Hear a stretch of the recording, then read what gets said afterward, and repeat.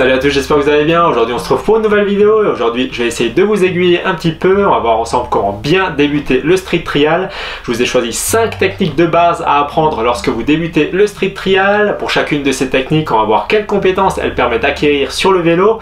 Je vous mettrai également le lien du tuto en question pour chacune de ces techniques dans le coin supérieur de la vidéo et en description juste en dessous.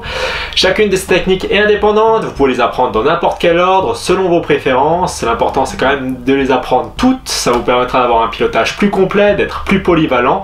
On va commencer tout de suite avec la première technique, c'est parti.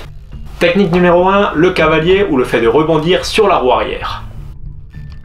Le cavalier ou le fait de rebondir sur la roue arrière, c'est vraiment une des techniques de base du trial. Ça vous permettra d'être polyvalent sur la roue arrière, de pouvoir faire des transferts sur l'arrière, des gros gaps, des grosses descentes, des transferts sur la roue avant.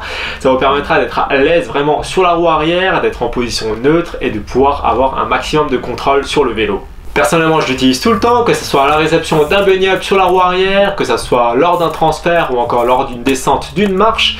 Euh, c'est vraiment une technique indispensable dans l'apprentissage du trial et du street trial. Vous pouvez passer des heures et des heures dessus, ça ne sera pas du temps de perdu.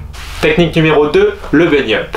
Le bunny up, c'est vraiment une des techniques de base pour le franchissement en street trial. Vous pourrez choisir plusieurs déclinaisons, soit atterrir directement sur la roue arrière avec un bunny up à l'arraché, soit vous pourrez atterrir sur la roue avant avec un bunny up planté, euh, réception roue avant, où vous allez ensuite ramener la roue arrière. Pour chacune de ces déclinaisons, la technique de base restera la même, ce sera un bon vieux bunny up où vous allez d'abord décoller la roue avant pour ensuite ramener la roue arrière. Le bunny up sera donc indispensable dans toute la partie trial avec les franchissements, mais il sera également indispensable en street.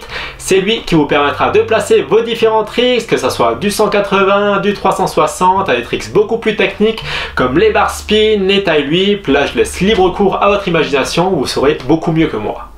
Troisième technique de base, le stoppie. Le stoppie sera le fait de se mettre sur la roue avant, frein avant bloqué, roue arrière en l'air.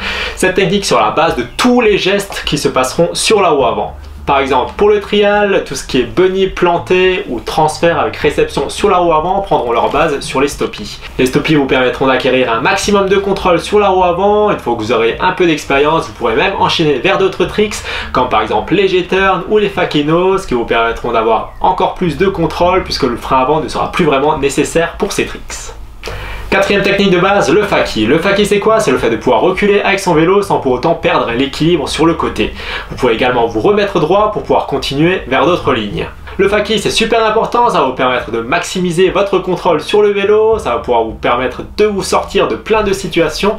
Par exemple, vous allez faire un 180, vous allez pouvoir repartir en faki, pareil pour un Abubaka, un G-turn, pour plein de techniques, ça va vous permettre d'être plus polyvalent et c'est pour ça que ça sera super important à apprendre. Ce gain de polyvalence va également booster votre équilibre sur le vélo qui sera le cinquième point. Cinquième technique de base, l'équilibre ou le surplace. Alors l'équilibre ou le surplace ne seront pas forcément les techniques les plus fun ou les plus intéressantes à voir et à apprendre, mais elles n'en restent pas moins super importantes. Le fait d'avoir un bon équilibre va vous permettre d'être toujours dans des positions nickel, d'être bien stable, d'être dans des conditions optimales pour pouvoir rentrer vos lignes et vos tricks. C'est pourquoi il sera super important de travailler votre équilibre pour être toujours dans les bonnes conditions, ça va vous permettre de progresser plus rapidement et d'être plus régulier sur vos différents tricks et vos différentes lignes. Les 5 techniques qu'on a vues précédemment vont ainsi vous permettre d'avoir une base solide, c'est-à-dire un bagage technique qui va vous faire progresser plus rapidement sur les techniques avancées. Ces techniques, vous pourrez donc les travailler sans compter pour pouvoir avoir un maximum de contrôle sur le vélo, ça va vous permettre de progresser plus rapidement par la suite. Voilà pour le petit conseil, j'espère que ça vous aura plu, n'hésitez pas à me dire dans les commentaires juste en dessous ce que vous en avez pensé, vous pouvez également mettre un like sur cette vidéo si elle vous a aidé, vous abonner sur la chaîne et on se retrouve la semaine prochaine pour une prochaine vidéo.